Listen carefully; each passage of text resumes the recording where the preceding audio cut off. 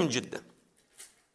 الفارق الثالث وهو أن التشريعات الصادرة من النبي والأئمة من النوع الأول إخبار عن واقع معين.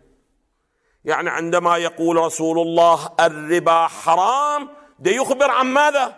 عن حكم واقعي ثابت في لوح الواقع بناء على مسالك العدلية. أن الأحكام تابعة للمصالح والمفاسد الواقعية. وعندما يقول الصلاة واجبة يعني الصلاة ده يخبر عن واقع موجود. مرة أنت تقول لزيد قم هذا إنشاء. ومرة تقول زيد ماذا؟ قائم هذا إخبار. النوع الأول من التشريعات إخواني الأعزاء كلها أحكام ما هي؟ وتشريعات إخبارية إخبار عن واقع معين. كما هي وظيفة المفتي. الآن المفتي عندما يقول يجب أو يحرم ماذا دي هو ينشئ لك حكما أو يخبرك عن حكم الله. الفقيه المفتي لا ينشئ الحكم وإنما ماذا؟ يخبرك عن أحكام الله. نعم الفارق بين المفتي وبين المعصوم أن الفقيه غير المعصوم قد يصيب الواقع وقد ماذا؟ وقد يخطئ الواقع. أما المعصوم دائما ماذا؟ يصيب الواقع. وإلا الوظيفة واحدة وهي أن المفتي في الشريعة التفتوا الفقيه بعنوان أنه مفتي هو شأن التبليغ. كيف قلنا أن النبي له شأن هو شأن ماذا؟ التبليغ يعني الإخبار عن أحكام الله عن تشريعات الله سبحانه وتعالى. أما التفتوا جيد. أما عندما ننتقل إلى القسم الثاني من التشريعات فهي تشريعات تخبر عن واقع لو تريد أن تنشئ واقعا أي منهما؟ ها؟ ليست بصدد الإخبار عن واقع وإنما هي بصدد ماذا؟ إيجاد واقع معين. تريد أن تقول أريد أن يكون المجتمع بهذا الشكل. مو انه أخبركم أنه ينبغي أن يكون بذاك الشكل. فهي أحكام ما هي؟ أحكام إنشائية. وهذه له آثار مهمة آثار مهمة في انكشاف الخلاف. يعني أن الإنسان هل يجب عليه أن يطيع القسم الأول من الأحكام أو لا يجب؟ ها؟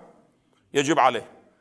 إذا قطع أن الذي أخبره كان مخطئا هم يجب عليه أن يطيع أو لا؟ يعني أن الفقيه أخبر عن واقع وهو بالقطع ثبت له أن الفقيه ماذا؟ مخطئ في هذا. هل يجوز له تقليدها أو لا يجوز بعد؟ لا يجوز. في باب الإفتاء مو في باب حكم الحاكم له بحث آخر حكم الحاكم. قاطع بأنه مشتبه ولذا أنتم تجدون أن الفقيه الذي يقول أن الهلال ثبت إذا كنت قاطعا بأنه شنو؟ أو بالعكس قال لم يثبت أنت قاطع أنه ماذا؟ لا تعتمد العلم بالخلاف. طبعا هذا بالنسبة إلى المعصوم متصور غير متصور غير متصور. ولكن أنا أريد أفرض المسألة حتى. أما في مسألة الإنشاء أساسا لا يوجد هناك واقع حتى نفترض أنه ينكشف خلافه أو لا ينكشف ماذا؟ لا ينكشف خلافه. لا معنى لذلك. فلهذا تجب الطاعة مطلقا. لا معنى لأن نفترض إذا كان قد انكشف له الخلاف بالقطع يستطيع ماذا؟ المخالفة. وهذا أيضا ما صرح به الأعلام يعني الأعلام الذين تعرضوا لهذه المسألة. منهم السيد الإمام قدس الله نفسه في الرسائل صفحة خمسين يقول بله يقول وهذا المقام غير مقام الرسالة والتبليغ فإنه بما أنه مبلغ ورسول من الله ليس له أمر ولا ناهي ولو أمر أو نهى في أحكام الله لا يكون إلا إرشادا إلى أمر الله ونهيه بعد إلى أن يقول أما بخلافه عندما يصل إلى إلى الأحكام التشريعية من القسم الثاني يقول وليس مثل هذه الأوامر الصادرة عنه إرشادا بل أوامر مستقلة منهم تجب طاعتها لقوله أطيعوا الله وأطيعوا ماذا؟ الرسول وأولي الأمر منكم.